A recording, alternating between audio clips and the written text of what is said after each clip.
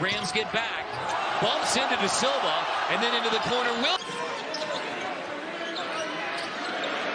Williams. Luke O'Brien has the rebound. Williams crossing over. Attack Da Silva for Colorado. Williams again brings it back. Williams on the attack. Wow. Shema is the only guy that's back and Simpson lob. Hookton goes baseline. Bona playing with four fouls. Did a good job not to pick up his fifth. Here's Cody Williams. And as high as number three. Six seconds on the shot clock. They go inside Williams. Great feet for the big fella right there.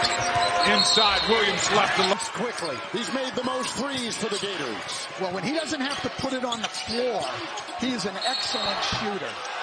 Foul. See if he does it again.